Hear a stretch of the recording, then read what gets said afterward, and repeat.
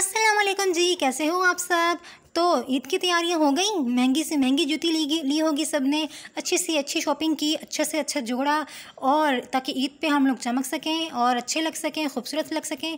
लेकिन कभी आपने अपने हाथों पैरों पर तवज्जो दी है, मगर ऐसे पैर होंगे तो महँगी से महँगी जूती भी आपको कोई भी अट्रैक्टिव नहीं लगने वाली, ठीक है? अपने हाथों पैरों को जब तक आप साफ़ सुथरा नहीं रखेंगे, आपको कोई चीज़ अच्छी लगने नहीं वाली है। तो इसके लिए बहुत ही अच्छी रेमेडी मैं आप लोग के लिए लेकर आई हूँ। आपने ज़रूर ट्राई करनी है।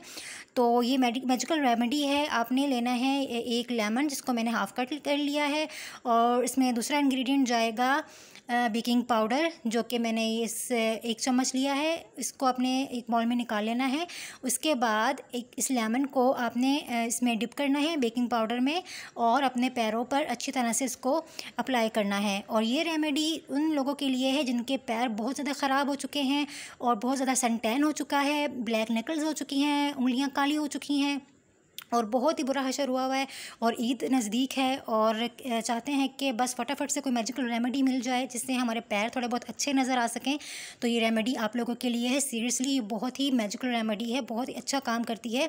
आपको पता है लेमन वाइटनिंग के लिए जाना जाता है और जो बेकिंग सोडा के साथ लेमन मिक्स होता है तो बहुत ही कमाल की ये ब्लीचिंग एजेंट बनता है और बहुत ही अच्छी सी ये आपको रेमेडी जो है असर करती है। तो ये रेमेडी आपने ज़रूर आज से ही इस्तेमाल करना शुरू करना है ताकि ताकि ईद वाले दिन आपके पैर चमके हैं। अगर आपके पैर, हाथ, पैर बिल्कुल अच्छे होंगे, पैर अच्छे होंगे साफ़ सुथरे होंगे तो महँगी से महँगी क्या आपको सस्ती से सस्ती जूती में भी आपके पैर चमकेंगे और अट्रैक्टिव लगेंगे। तो महँगी जूती ख़रीदने से पहले अपने पैरों का जो है, अच्छी तरह से अपने पैरों को तवज्जो दे दें, अपने पैरों की तरफ़ ध्यान दे दें, ताकि आपकी जो है, पैरों के जो है, जो जो भी आप महँगी से महँगी जूती ख़रीदें, उसमें आपके पाँव अच्छे लगें। तो ये रेमेडी आपने इस तरह से यूज़ करनी है कि रोज़ रात को सोने से पहले आपने अपने पैरों पे इस तरह से ये अप्लाई करना है लेमन एंड बेकिंग पाउडर।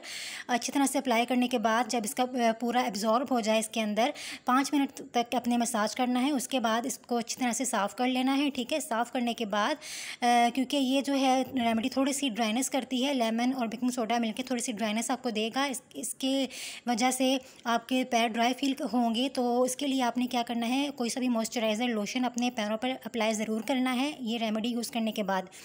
ताकि आपके पैर ड्राई ना हो। कोई भी मॉइस्चराइज़र लेकर आपने अपने पैरों पर अप्लाई करना है, उसके बाद सो जाना है और ये डेली यूज़ करना है। आप यकीन करें, आपको बहुत ज़्यादा अफेक्ट ये रेमेडी देगी और जिनके पाँव बहुत ज़्यादा ब्लैक है, वो आज से स्टार्ट करें और फिर उसके बाद आप रिज़ल्ट खुद देखिएगा। ईद वाले दिन आपके पैर जो हैं, आप ज़रूर अच्छे मतलब फिफ्टी परसेंट रिज़ल्ट आपको मिलेगा ही मिलेगा। और ये दो मैजिकल इंग्रेडिएंट सिर्फ़ ये दो मैजिकल इंग्रेडिएंट मैंने आपको बताए हैं, हर घर में मौजूद होते हैं। तो ये थी मेरी आज की रेमेडी बहुत अगर आप लोग अच्छे पाँव चाहते हैं तो ज़रूर इस्तेमाल कीजिएगा। मिलेंगे अपने नेक्स्ट वीडियो में।